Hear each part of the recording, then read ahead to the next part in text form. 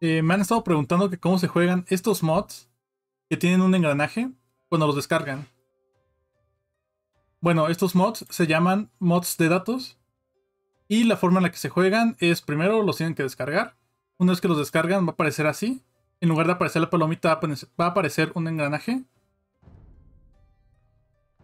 Y van a organizar una partida multijugador. Después, aquí donde dice mod de datos, van a seleccionar el mod que acaban de descargar. Y crean la sala. Una vez que se creó la sala, en donde dice modo de juego, van a seleccionar escenario personalizado y elijan el mod que van a jugar. Y listo. Ahora ya pueden jugar su partida de, mod. Y vamos a la prueba con, con inteligencia artificial para ver cómo se ve.